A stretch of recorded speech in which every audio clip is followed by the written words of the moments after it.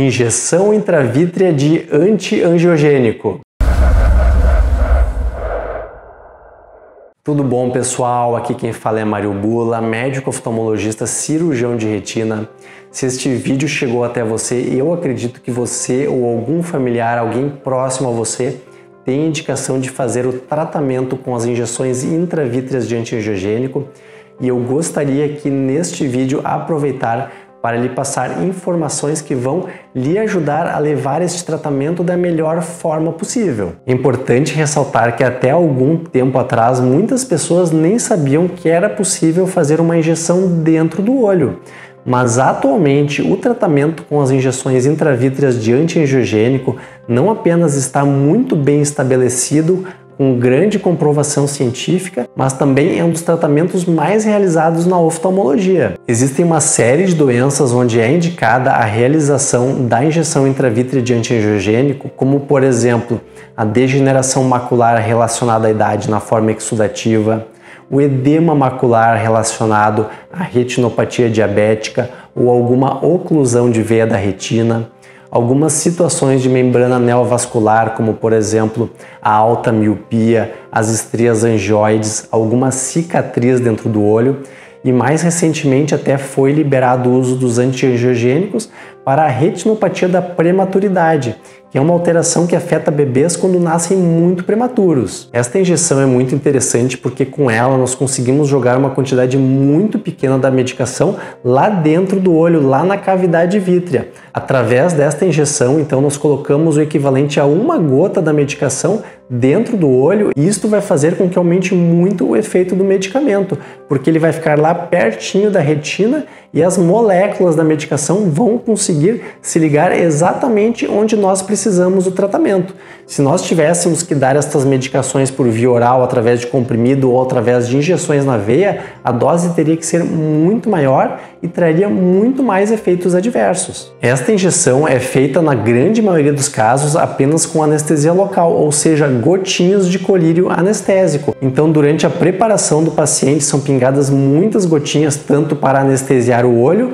como também de PVPI, que é um colírio especial de iodo que ajuda a matar as bactérias do olho, e isto vai fazer com que o procedimento seja mais confortável e seguro. Muitas pessoas perguntam se dói muito fazer uma injeção no olho.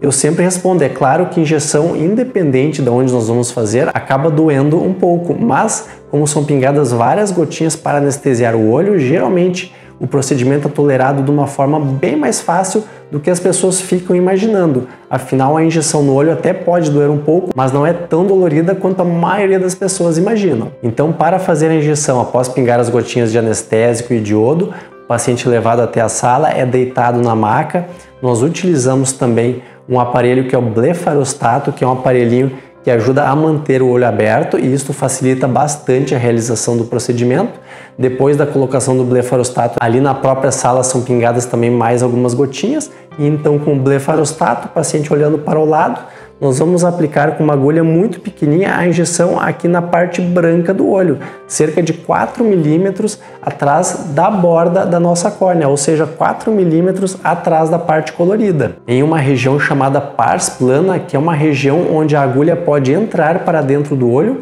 sem causar prejuízo nem para a retina e nem para o cristalino ou seja, é um procedimento considerado seguro dentro da medicina. É claro, como qualquer procedimento, existe uma taxa de complicações, mas felizmente as complicações mais temidas, que são, por exemplo, o descolamento de retina ou uma endoftalmite, que é uma infecção dentro do olho, acontecem em uma taxa de menos de uma a cada 10 mil injeções. Para vocês terem uma ideia, a cirurgia de catarata, que também é considerada um procedimento seguro, apresenta uma taxa de endoftalmite de uma para cada mil a duas mil injeções, ou seja, a taxa de complicações graves é bastante baixa nas injeções intravítreas. É claro que logo após a aplicação, quando passa o efeito do anestésico, o olho fica um pouco ardido, fica um pouco dolorido. Então, após a injeção, o ideal é ir para casa, fechar os olhos, descansar bastante, tentar até dormir um pouco